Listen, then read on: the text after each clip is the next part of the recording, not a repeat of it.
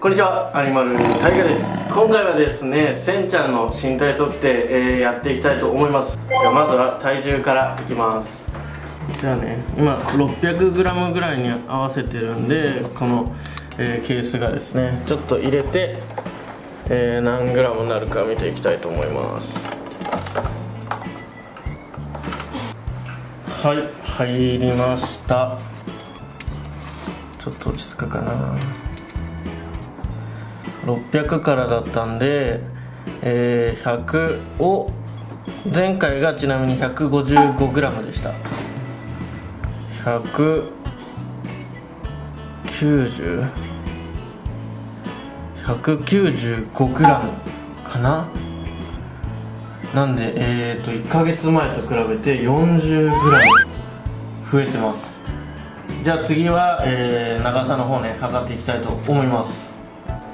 もうね、えー、長さ測り方ですけど、まあ、コメントでねいろいろ、えー、測り方こうやったらいいんじゃないかなっていうのがありましてまあ紐でね、えー、長さ取って紐の長さを測ったらいいんじゃないかとかあったんですけどまあ結局まあこれも紐なんでねこれでもう直接測っちゃいたいと思います。よしじゃあせんちゃんを固定して。ぱりこう長い時間持っててもえー、ね結構うんちしないんでメスかな、うん、この模様で取っていきましょう。はい。模様で押さえたんで。おどうだどうだ。あ胴体も増えてますね。前回が2 3センチぐらいだったかな。24胴体が24ですね。はいはいはい。じゃあ次はどっちにしよう。こっちを押さえてえー、ちょっと持ち方があれだけどこんな感じで。もうちょい待ってて。ここの模様のとこからですね。はいはいはい。ああいい感じ。落ち着いてくれてる。3535 35と24 24と、えー、35ってことで足したら、えー、2435、えー、50 59あじゃあ4センチも伸びて 40g1 センチ伸びると 10g 増えるのかな。まあその辺はちょっと分かんないけど、えー、4センチ、えー、伸びて、えー、40g1 ヶ月でね伸びました。天くんが1年かけて4センチぐらいですか？5センチ伸びたんでねそれに比べたらやっぱ成長スピードは速いですよね。でこの子今ちょっとね見えるか分かんないですけど脱皮中なんですよね。ここちょっとね頭とこの首ら辺とかだと皮が残ってて分かりやすいかなと思うんですけど脱皮中で今全身がこうね本当はねもっと、えー、顔の色みたいに白いんですけどちょっとね今くすんだ色になってるんですけど今ねこんな、えー、脱皮がいっぱい残ってるんでで今からちょっとね温浴お風呂に入れてあの皮がね、えー、剥がれやすいようにしていきたいと思います。まあね温浴ってうんまあ別に僕はそんな天君かつ天君がねちっちゃかった時も別にそんなに頻繁にやってはなかったんですけどまあねあのー、温浴するメリットって何なんだろうな。あの、まあ飼育下だからこそ綺麗に綺麗にね、あの、育てたいっていうのがやっぱあるんでね。あの温浴ねちょっとやって脱皮の皮をねえー、剥いでいきたいなと。まあ剥ぐっていうかね剥がれやすいような状態にしたいと思います。これ、ね、脱皮不全とかっていうのが、えー、あるとたまにねこう指とかがね指とかの爪とかが飛んじゃったりするんでその辺はねやっぱりしてほしくないので綺麗にね大きくなってほしいんでね温浴ね早速やっていきたいと思います。まあ天くんもねあの温浴ほとんどしてないですけどまあね天くんはあまあ 綺麗に育ってくれてるんでね全然大丈夫だったんですけどまあそういうやり方もあるよっていうことでねまあ参考までに今日ねやっていきたいと思います。多分撮影日以外でやることは多分ほとんどないと思いますけどまあ撮影だからってことでね、まあ、参考までに1回ねちょっと入れていきたいと思います。じゃちょっとお湯持ってくるんでせんちゃんは1回戻ってて。はいじゃあ今もうこちらにお湯ね入った、えー、桶を用意したんでこの中にね入れちゃいたいと思います。ほい。まあ普通の水道水で出るあったかいお湯ですね。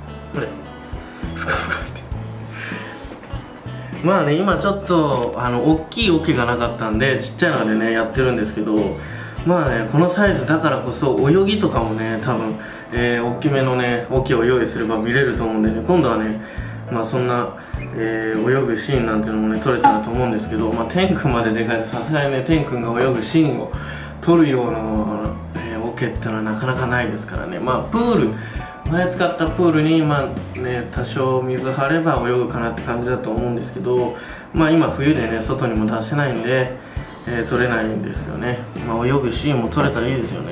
水オオトカゲっていうね本当に泳ぐのが得意なんですよね。でこれね、まあ、参考までにあの温浴させてるんですけど大体温浴する時間は10分ぐらい。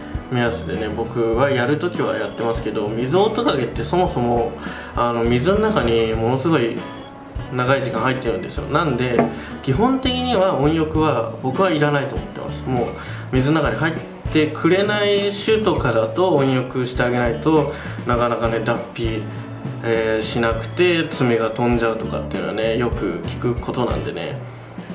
まあ何ですか太あごひげトカゲとかはよく温浴させる人はいますよね。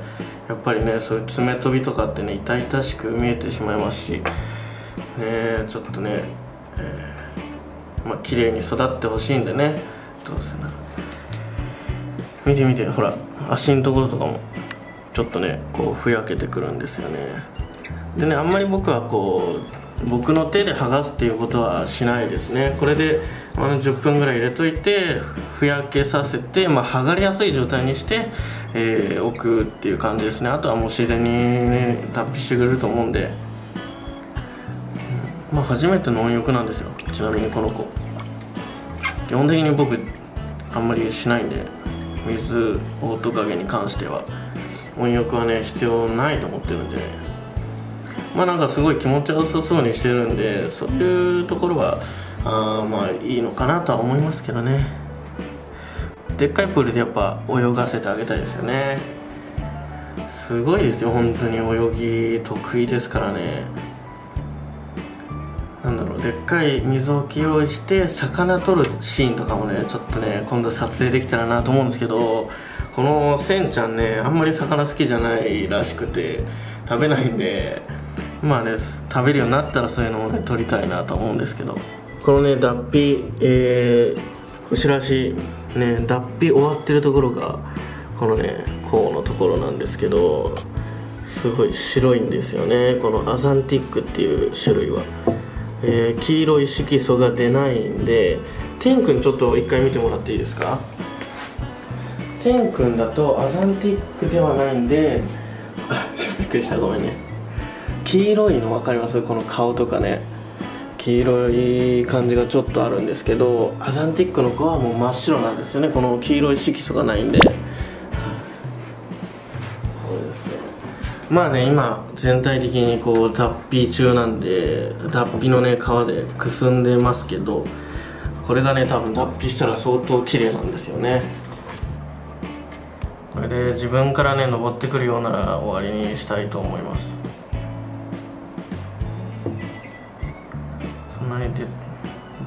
ないのか。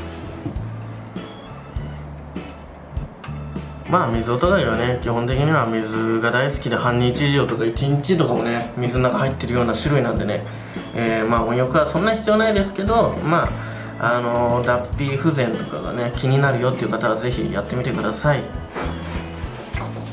ちょっとあれだね。この中にデュビをさ入れて水中でも捕まえられるよっていうところを見せてみようか。簡単に。もう全く逃げれないですから。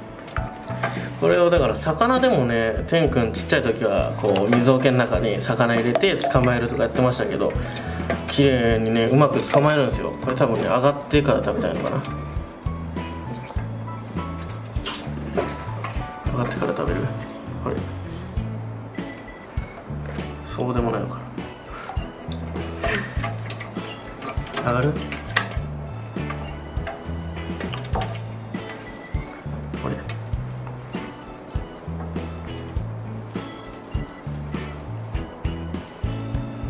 デビューは名前はないっすよ。指輪には名前を付けてもねしょうがないか。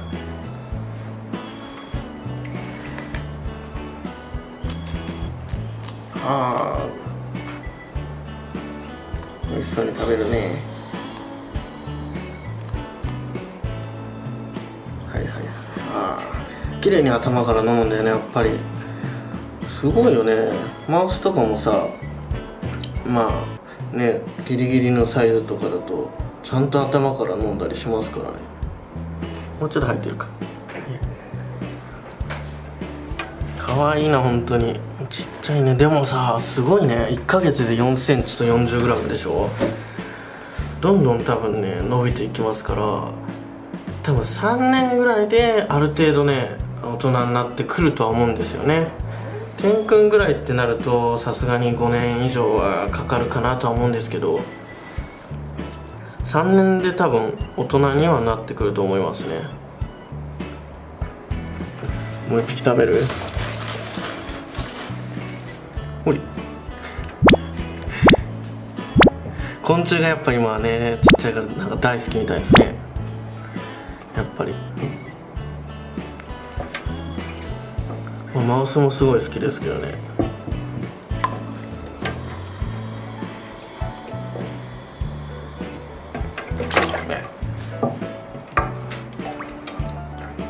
そこで食べれますか？やっぱりでも水の中じゃあれなのかな？天くんもそうだけどあんまりね逃げられるっていう潜在意識があるんかな？水の中に落としちゃったら一回。だからあんま食べようとはしないね。一回あげてあげれば。食べると思うけど。話すことができないもんね水の中じゃ。話したら逃げられちゃうって思っちゃうかなやっぱ。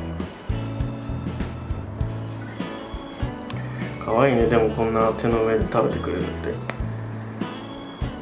でももう50えー、3459センチでしょ。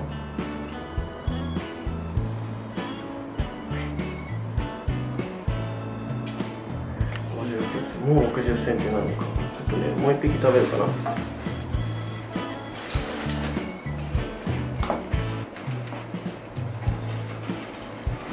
あれ入っちゃった。この中入っちゃった。ジビアの繁殖場に。かわいいなほんと。ちっちゃいね。